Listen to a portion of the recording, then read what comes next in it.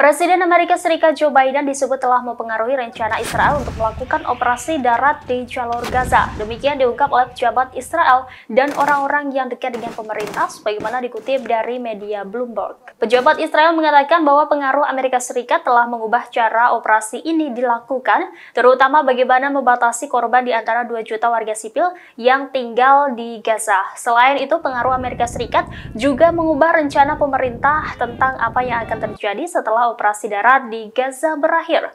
Tiga pejabat senior Israel yang dirahasiakan identitasnya mengatakan bahwa peran dan pengaruh Amerika Serikat dalam perang melawan Hamas ini lebih dalam dan kuat dibanding waktu sebelum-belumnya. Media Amerika Serikat mencatat bahwa Israel telah mengumumkan invasi darat ke Gaza pada Sabtu lalu. Kemudian Israel mengisyaratkan bahwa serangan darat itu mungkin berbeda dari perkiraan.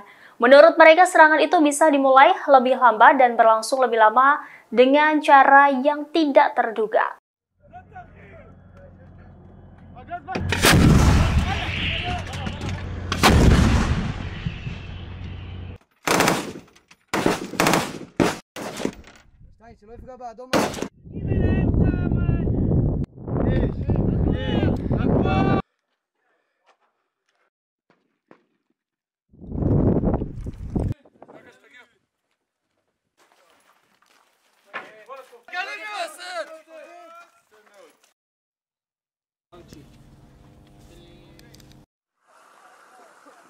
Download Tribun X sekarang.